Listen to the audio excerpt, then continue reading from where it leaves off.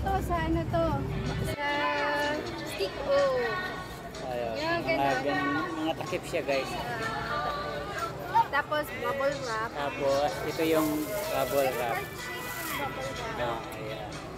Tapos ito naman yung egg. Ayan, egg. Ah, oo. So, tapos, ayan guys. Tapos, oh, ayan.